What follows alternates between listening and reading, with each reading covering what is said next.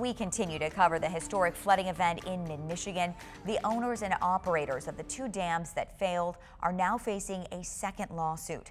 According to the Midland Daily News, a class action lawsuit was filed Friday. The failure of these dams caused the evacuation of 11,000 people. Attorneys in the lawsuit say that flooding was preventable.